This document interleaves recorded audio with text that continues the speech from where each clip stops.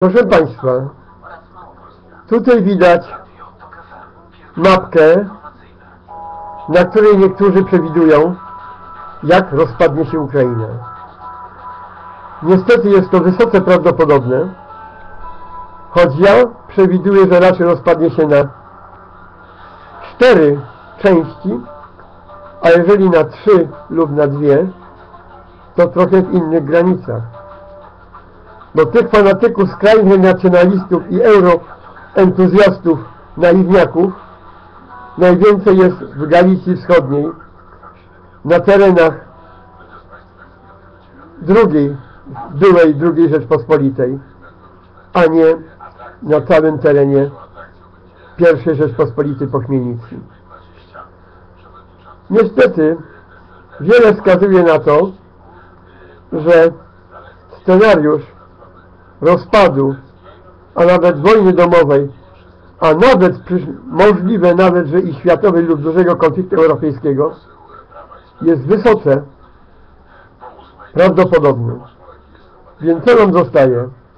Przede wszystkim modlitwa, post i trzeźwe myślenie, nie danie wciągania się w głupie emocje, propagandę, różnych mediów zachodnich i nieobiektywnych, które robią tylko nagonkę na Janukowicza, rząd i Putina, a nie mówią o tym, jak nieodpowiedzialne i wręcz zbrodnicze elementy również zjawiają się, a nieraz ich dominują na tym Majdanie.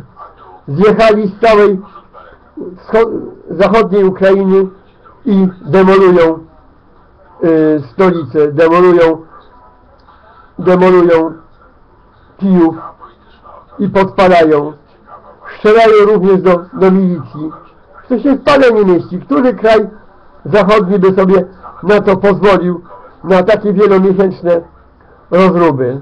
Ale Unia udaje wielkich demokratów i atakuje władzę, a sama by zrobiła na czele z Amerykanami totalną rozpierduchę stan wyjątkowy i porządek.